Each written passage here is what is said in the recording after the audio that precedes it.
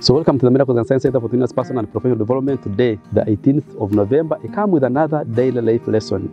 This daily life lesson tells us about planning, and it actually sits in the core of the Miracles and Science Center for Continuous Personal and Professional Development, which you should be able to check and subscribe to on YouTube because it contains daily life lessons that actually can be able to help you move forward wherever you are stuck.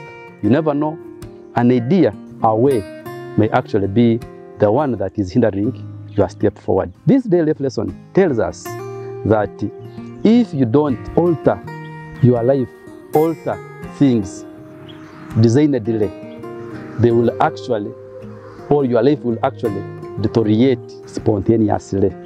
What this daily lesson tells us actually is about planning, that it is important for you to sit down and plan for your life, plan for things, plan for what you want to achieve, plan for what you want to get rid of. If you don't, and then leave things without attention, then they will deteriorate spontaneously. I know there are some people who simply sit down and say, well, let me wait for the purpose for which I was created to happen automatically.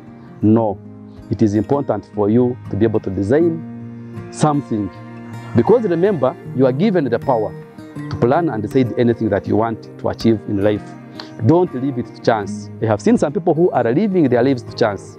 They don't know exactly what they want, or even when they know what they want, they don't know how to be able to design and go for it. They simply say, let me wait and see what happens. Don't wait and see. If you wait, it means that you are not sure. You have put your power elsewhere. It is no longer in your control. This reminds me of Luke chapter 14, verse 28. We are told that can you be able to build a tower without first sitting down and planning, estimating the costs involved? That is the Bible. So some of the people here who are watching this video, who think that actually they won't sit down and let their life move spontaneously, they sit down and expect a miracle that it will happen spontaneously. This daily lesson actually tells us that things will actually spontaneously degenerate to the worst. In summary, it is important not to leave things to chance. Plan for things, do your best, and seek divine intervention when you have done your best. And in that way, you will be able to progress designedly rather than waiting to deteriorate spontaneously. This has been a daily lesson for today. Thank you.